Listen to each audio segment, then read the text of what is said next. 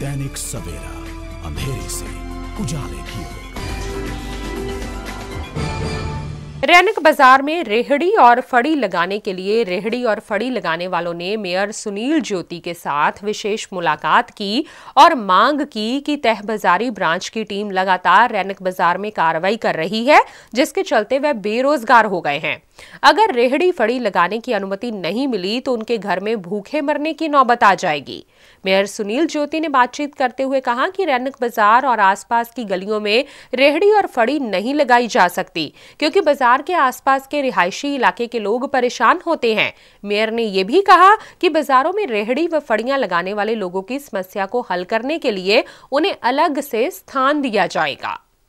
ਸਾਡੇ ਉੱਥੇ ਅੱਡੇ ਲਵਾਏ ਜਾਣ ਸਰ ਆਪਾਂ 10-15 ਸਾਲ ਹੋ ਗਏ ਆਪਾਂ ਜਾਣਾ ਕਿੱਥੇ ਆਪਾਂ ਇਹ ਚੀਜ਼ ਦਾ ਸਰ ਸਾਨੂੰ ਜਵਾਬ ਚਾਹੀਦਾ ਤੇ ਮੇਅਰ ਸਾਹਿਬ ਵੱਲੋਂ ਕੀ ਜਵਾਬ ਮਿਲਿਆ ਮੇਰੇ ਸਾਹਿਬ ਲੋਕ ਕਹਿਤਾ ਕਿ ਜਦੋਂ ਸਮਾਰਟ ਸਿਟੀ ਬਣਾਉਣ ਤੇ ਹੈਗੇ ਆ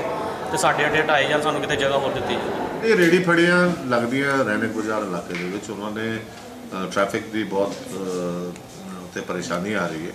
ਤਾਂ ਮਿਊਨਿਸਪਲ ਕਾਰਪੋਰੇਸ਼ਨ ਪਿਛਲੇ 2-3 ਦਿਨ ਤੋਂ ਉੱਥੇ ਕਾਰਵਾਈ ਕਰ ਰਹੀ ਹੈ ਔਰ ਡਿਸਕਰੇਜ ਕਰ ਰਹੀ ਹੈ ਕਿ ਰੇੜੀਆਂ ਫੜੀਆਂ ਉੱਥੇ ਨਾ ਲੱਗਣ ਸੋ ਉਹਦੇ ਲਈ ਡੈਪੂਟੇਸ਼ਨ ਆਇਆ ਸੀਗਾ। ਠੀਕ ਹੈ ਇਹਨਾਂ ਲੋਕਾਂ ਨੂੰ ਤਕਲੀਫ ਹੈਗੀ ਹੈ।